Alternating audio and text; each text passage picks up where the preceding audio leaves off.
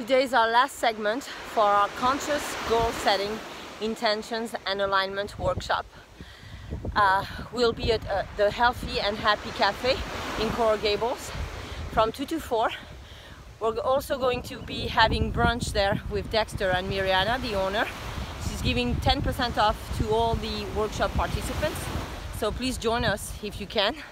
And uh, we're going to talk today about how to get into alignment with your intentions and goals in a way that you can achieve your goals and your intentions with ease, with fulfillment, with joy, and in a way that any fear, any limiting belief that you've been operating from can come to the surface so that you can be aware of them and you can release them. You can consciously choose to release any limitations to your achievement of your goals and your intentions.